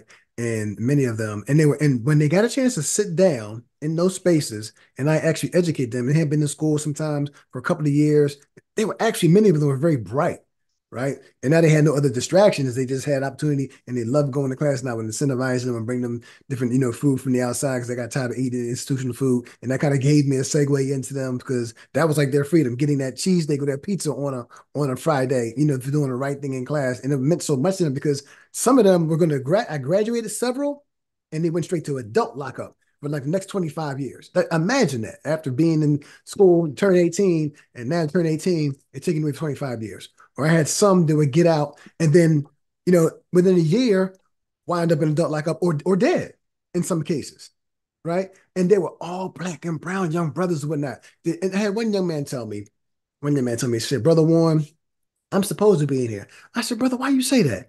Well, when I was a baby, you know, my mom had me while I was in prison. My father, he was in prison, right? Now, whatever they had gone through, and they were in the drug game, you know. So again, going back to, you know, and dad sold crack and all these different kinds of things when I so they were caught up with that. And then they had, you know, it's like the hate the hate produce in a different kind of way. Right. The self-hate. the hate produce, right, in a different kind of way. Um, so so many well, things. Cornel, Cornel West calls that Cornel West calls that nihilism, the mm. nihilistic threat. When you have these cycles, right, where folks are being um, folks are being racially discriminated on because of racism, right? Um, they're not going to be they're they're they're in neighborhoods, right, that are quote unquote uh, have poor education systems, right, Are undereducated. People that are undereducated are underemployed. Folks that are underemployed that, that need need money uh, will go to illegal means or non-legal means, which land them in jail. Land them in jail. Now they go on job interviews and they can't get the jobs because they're ex-felons and things like that, which means they got to do more illegal things. And they become this cycle that you're caught in. And when people see this cycle, they say, "Ain't no point. I might as well just start selling drugs from jump because I ain't gonna escape this thing." Right. And this is the nihilistic threat. This is also the thing the Black Panther Party fights against the Black Panther Party is trying to instill pride that yes, we can do these things. Yes, we can lift ourselves up. Yes, we can escape this oppression. And I think just kind of bringing it back to that, I think the nihilistic threat, uh, as Cornel, is the number one threat uh, against Black progress. And this is the very thing the Black Panther Party was trying to avoid. And and true power, true power can change all of that. Because yeah. I don't like it, I'm gonna rewrite. I'm removing it and knowledge of self, love of self. Absolutely, just like you had a, uh, this this country had a um the Articles of Confederation. Well, I don't like it. I think I'll have a Declaration of Independence. A new, and I'll have a new uh, Constitution. you know, I don't like it. I'll change it. I don't like the way this. I'll amend it. Right. I'll amend the amendment. That's the game. So man, all signs being dropped tonight, man. Like I said, yeah, so many different topics and whatnot, and not enough time to get in there because I'm gonna keep your brothers all night. I'd love to keep you all night, but I know I can't, you know, and I'm gonna get this in. So looking at the next thing, the new Jim Crow, you know, the book, I have the book and also as a workbook that goes along with that. And it speaks to, you know, this new caste-like system, right? Being created because of the mass incarceration and whatnot. And I would always like between things like the 13th, you know, the you know, the documentary and also, you know, concept that, the Ava DuVernay talked about, you know, the new Jim Crow, things like that. I mean, these are just some resources that parents out there, in my humble opinion, don't have to use these, but that I found to be very, very helpful in trying to educate our babies about what time it really is. You know, they're getting locked up. You know, another uh, resource, you know, kids for cash, you know, kids that are getting locked up, getting incarcerated and whatnot, and then going right to the system, like I just talked about. All these kinds of things, you know, the parents need to become more aware, you know, and then hopefully that trickles down to their their child. Uh, I can just say real quick, you talked about neighborhoods. I took a young man home today, you know, because like I said, I do some still some work down here. And I took him to a place that was his home and it was a hotel, right? And and it looked like, you know, a scene from the wire, like, but even like the worse than the wire, right? So I'm like, this young man doesn't have a chance. Like, you know, I used to say this for years in my career. I wish I could take some of these guys, you know, to my own situation and not get them away from, you know, these circumstances because right now, you know, he's already behind academically, you know, mom is on this, dad is on that, and, and he has to go home to this every single day. And I see why now he is the way he is. And we can have that story over and over and over and over again and whatnot. Um, and then, you know, but the system is designed by design to create this, right? That new cancer. like gentlemen like this eventually, unless something really comes into their life to change their course, change their pattern, they're going to wind up in the system, man. You know, they're already in this. Already, they got as as Dr. Um, Jawanza Kunjufu said many years ago, with the fourth grade failure syndrome. By the time you're fourth grade, if you can't read, they got a number. They got a bed for you already. You know, and I I fully believe that. You know, so so Black Lives Matter. Almost coming to the close. Black Lives Matter you know, international social movement formed in the United States around 2013, dedicated to fighting racism and anti-black violence, especially in the form of police brutality. Um, essentially, you know, after the Trayvon Martin shooting, um, is when it really began to. It's not. Go ahead. I'm sorry. Go ahead. Oh my bad. I didn't mean to cut you off, but uh, today is the anniversary of Trayvon Martin. Absolutely, absolutely, absolutely. I learned that on the other call. Absolutely, yeah. You know, rest and rest in power to that young brother, man. Rest in power to that young brother. Um, so when you first heard about that, how did that resonate with you? The Trayvon Martin and the Zimmerman and all that what happened at that anybody take that? Yeah, I, I, I mean, many parallels have been drawn between Trayvon Martin and Emmett Till.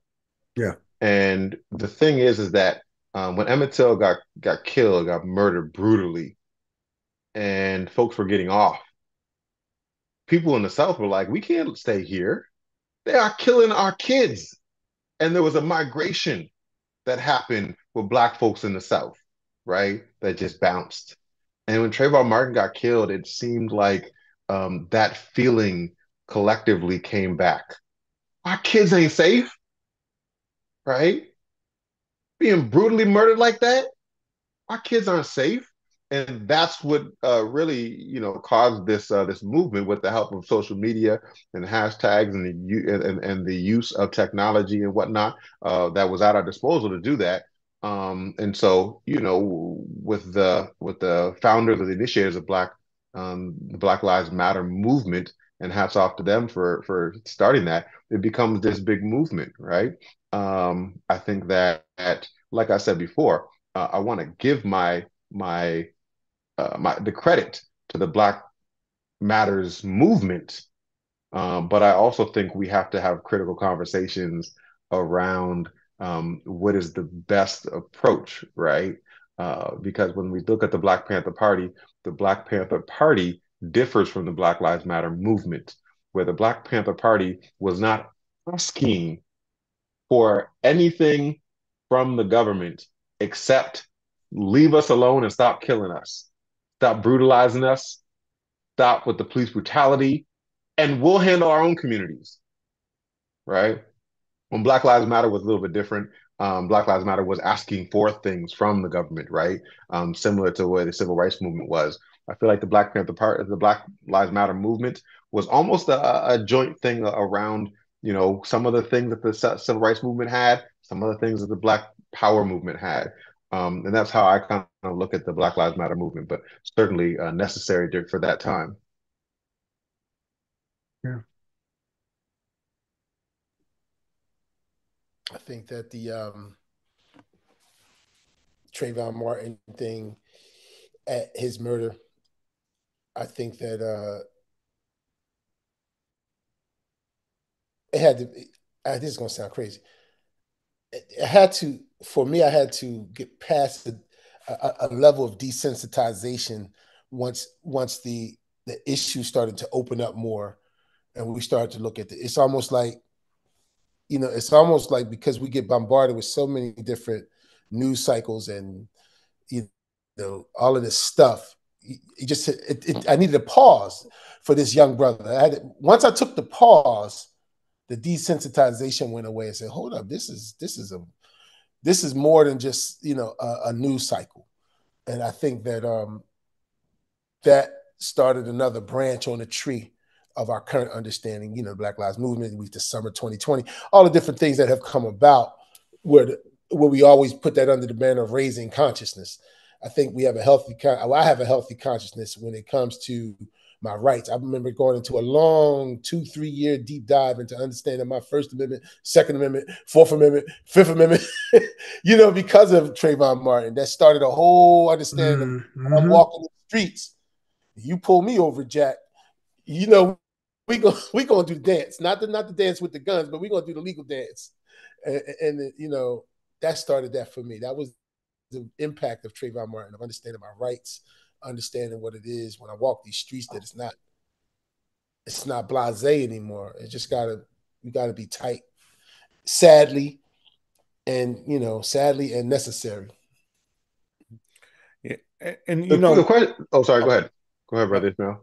Oh, my bad. No, I was just the real the thing that really hit me uh, about Trayvon was the fact that number one, that grown man George Zimmerman pretended like he his life was under threat, um, and that was his argument. So much convincing the police at the time that they let him go that evening. Right, it was 25 days until that man was charged. Also, on top of that, was when Trayvon Martin was first shot. They didn't even look for his family in the housing uh, uh, place that he was at, where he was shot at, they marked his body as a John Doe and then drug tested his dead body. And see, even those facts weren't even put out there like that. Mm. And for me, when I read that, when you know, I remember taking my babies out. I, I think I only had two or four of my boys around at the time. we were out there protesting. I remember the first Black Lives Matter rallies in Philadelphia was around that time. And it just reminds us of like that continuity of this type of treatment, mistreatment uh, towards black youths. And earlier today, uh, Damon was a part of this conversation, but we were t- talking about the adultification of black children. Mm-hmm. Like Trayvon Martin was bodied like he was a grown man. And so much so that this grown ass man was able to make the argument to the police at the time in real time after he shot this kid that he was fearful for his life. And then he ended up getting off of his charges based on that same argument. And the mm-hmm. same argument used about Mike Brown, saying, you know, we can go down the list. All of them. What, what my what, what my with all of these, right? Let that, that up right there, right there. Um, with all of these notable killings of black folks, right? Question then to black folks is what is it gonna take? Right? What's it gonna take? If Trayvon Martin and all of the Ferguson and the the the no knock warrants that kill and all of these things killing black people, black youth, black women, black men, all of these things happening and being being caught on film, being shared on social media, and we still haven't done much. What is it going to take? And I feel like the Black Panther Party said, no, no, no. You ain't got to kill all those that many people. We gonna stand up off of one in Oakland. Right? This one was was too many. Uh connect to a whole history of killing black folks. Mm-mm. We're not about to do that no more. Not sitting down, we're not. And I think the question then becomes what's it gonna take? Because it seemed like this racial reckoning for a couple of years happened A couple companies said they were going to change the uh, way they advertise. Couple places said they're going to change the hiring practices and put some DEI people in place. They did. The government has diminished some of that, and people have forgotten about it and gone back to their old ways. What's it going to take? Hey, brother, listen. Everything you just said is, is like, like literally, like next, next, next, next, next. So, like, right, going back to you know, piece right here. We're getting woke rather more conscious. So what's next? What is next? I tell you what's, what's working on right now. You mentioned this a little bit earlier, brother Ishmael, in the other call. You know, we're talking about the Heritage Foundation. We're talking about Project 2025. And it, you know, I'm not this. This is a whole nother separate conversation. I'm just dropping this for the people out there that may have never heard of these Jones, right?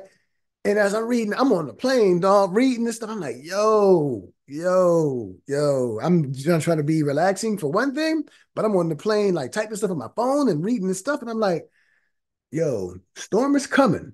I mean, storm is already here, but it's really trying to come. And if you think about what's going on right now, you know, we talked about from Black Power to Black Lives Matter, and all you know, my our lives have always mattered, right? You know, but the movement of the Black Lives Matter movement, you know, definitely, you know, through their social media presence and all the things, going back to George Floyd. I never thought that I never thought that was going to happen with that officer, whatever his name is, um, was going to actually happen to him. I didn't think that was going to happen. I didn't think it was going to go down like that. You know what I mean? And it could have been, it should have been far worse than that. But I'm surprised he even got what he got, right? But now, as a result of all of that, right? You got folks out here, man, doing these things, man, these foundations and Project 2025. You got, you got the 16, 19 back here in the back or whatnot. I think that's a play on words, you know, they got this, we got that, right? And, you know, I'm about I'm about loving all people if you love me, if you love all people. I'm about loving humanity. Let me put that out there first of all. I love humanity, right? I love keep people trying to be, you know, righteous for all people. I, I, I truly do, you know. But regardless of what you look like, what color you are, if, if you're not about, you know, the true liberation of our people, I got a problem with you, right? Or the true acceptance of all people, I got a problem with you. I just do, you know. But how can we prepare these babies, prepare these parents, you know? But what's about to come? You know what I mean? And, and, and there are know, successful models out here.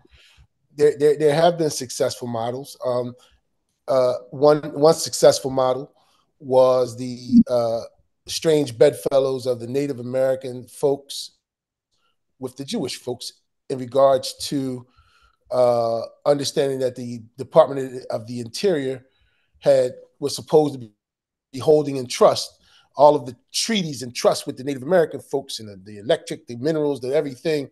and they found that this was being a whole bunch of IOUs inside of there, and they were owed trillions of dollars. So ultimately, uh, uh, the Jewish community comes and does some level of a partnership with the Native American to show them what they what what, what, what their flex is on native land that is sovereign. And hence you see the casinos of the Native American casinos come up that are tax free. It was a hedge against the government. It was a hedge on getting money that they didn't have to pay taxes on. Now you see Native American universities, Native American hospitals. You see the upswing of a, of a play of an alliance. So there's models of alliances, strange fellows as they might be from time to time, where they're mutually beneficial. But there are models out there that show how do you move. If you take that same community across Europe, they kick tail across Europe as they backtrack the data on who did them who did them dirty in World War II. You know, there's a, there was a lot of reparations being made. There's models out there that we could at least read, glean, take piece, take part, wholesale partner alliance. There's stuff out there for us to look towards what we want to do in the future that is effective at, at, at, at making things work for us as a suggestion.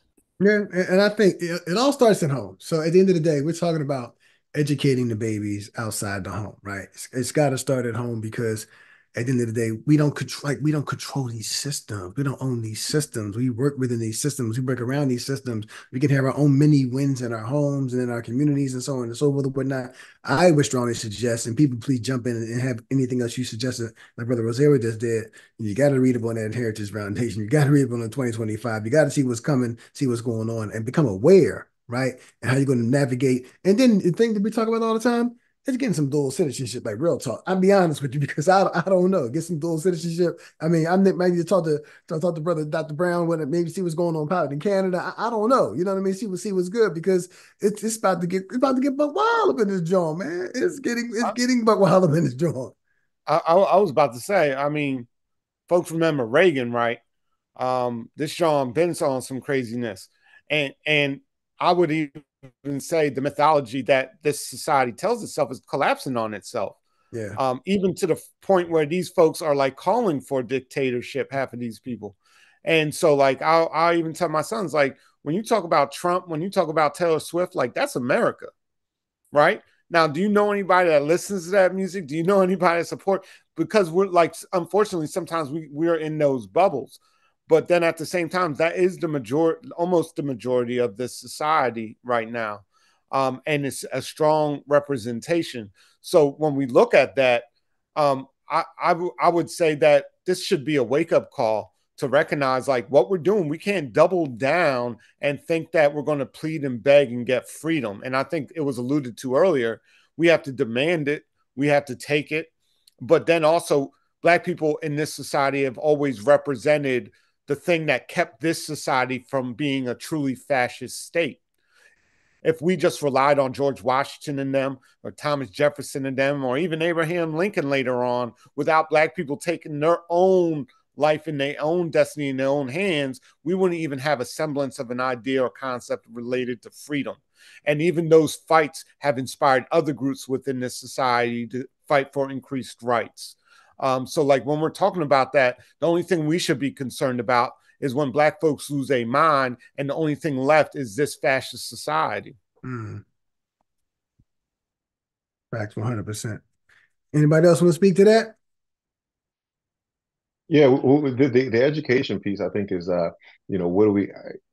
One thing is to, to educate our children. I think that's um, children are represent our future, right? They represent um, the future of our of our people, future of our society, future of our of this country.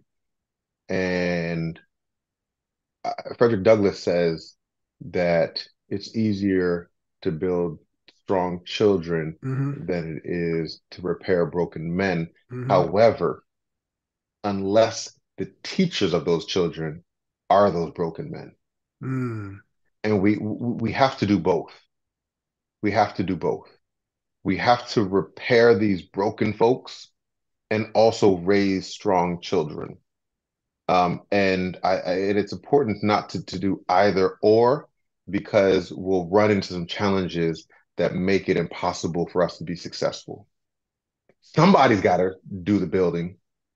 And if the people doing the building are the broken people, then we're just we're just building broken children, right? Somebody's got to do the building of strong children, and that has to be strong uh, men and women, right, and people in general, right. And so I think that we we we have to do both.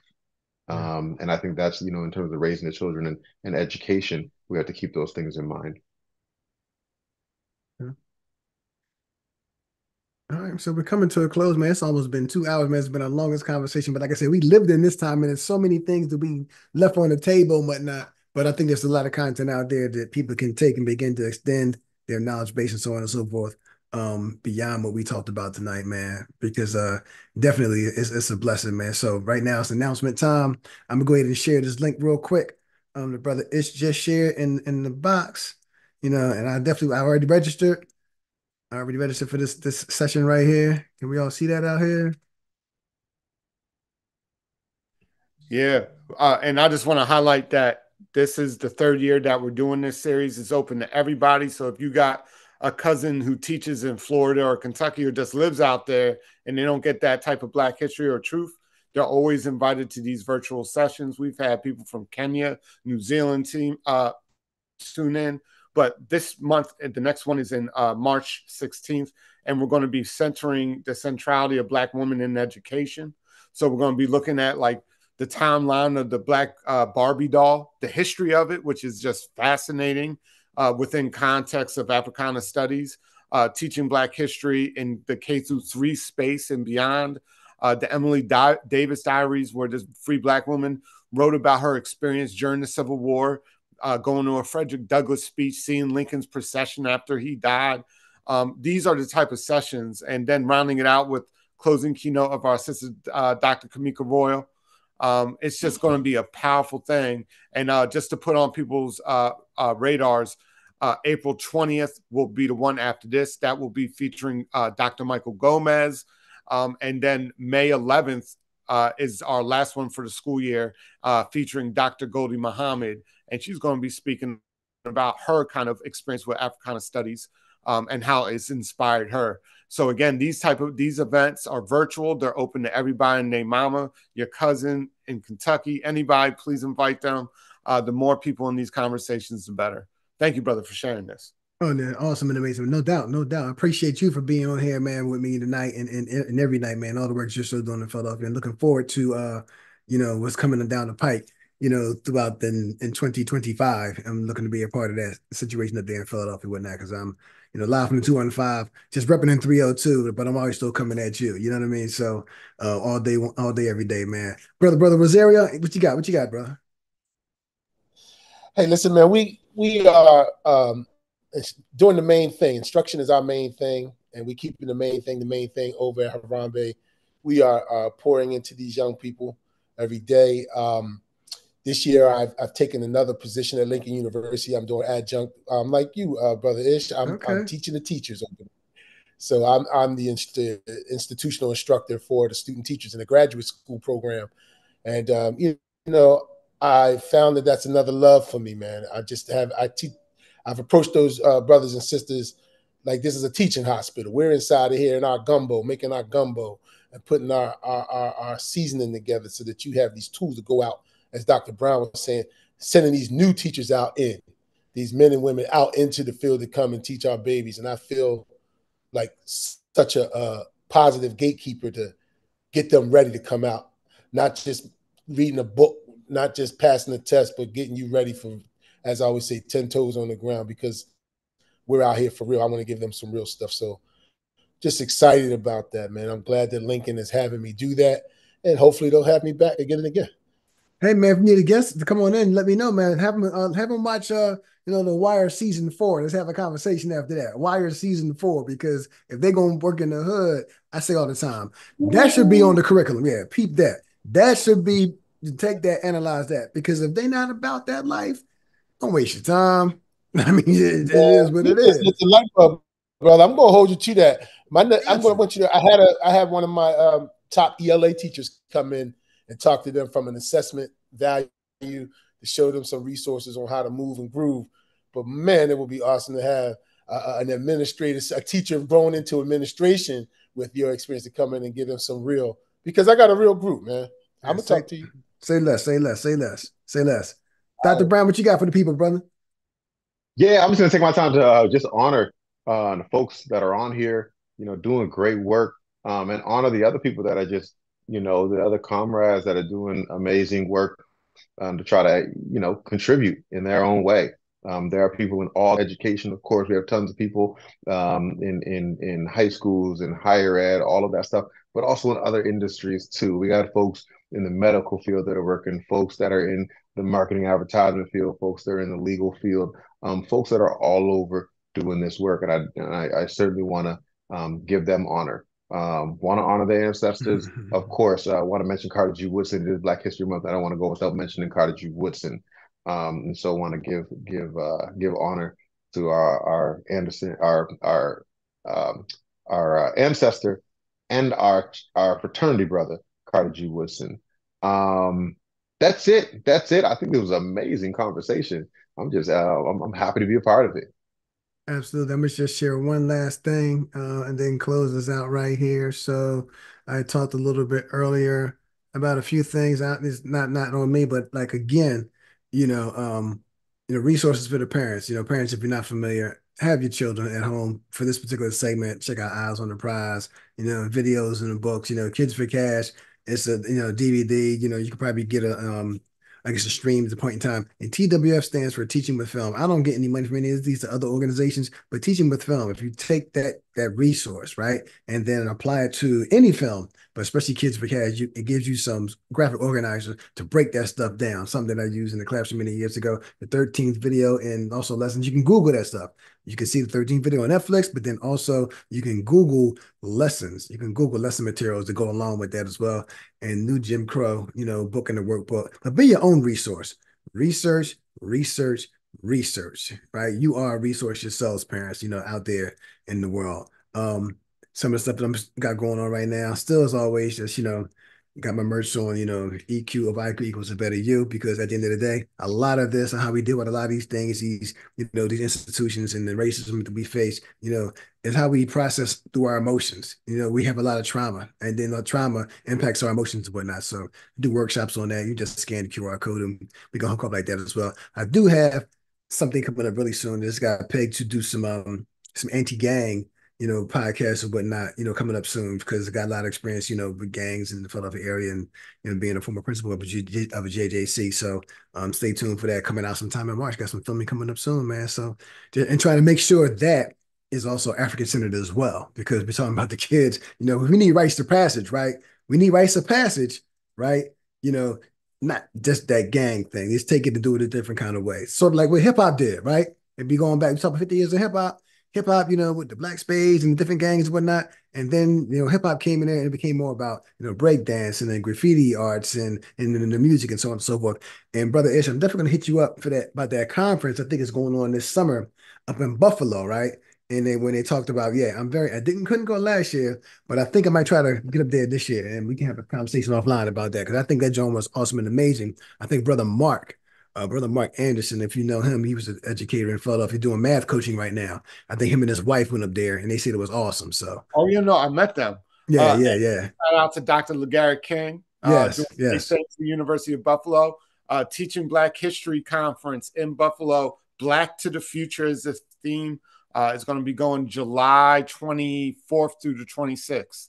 Um, okay. So Buffalo ain't too bad at the end of July, y'all. So think about it. And we'll be close to uh Canada, Dr. Brown, if you want to make your way over, bro. Definitely.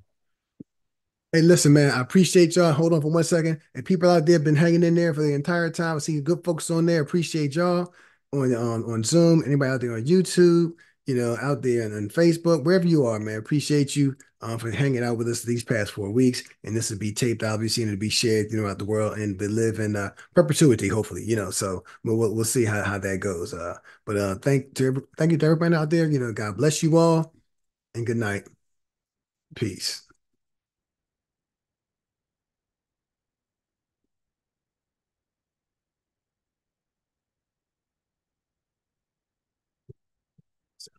All right, brother. I appreciate the uh conversation. I probably should get off before I get in trouble with the wife, though. Yeah, but, man. Same thing, man. Same thing.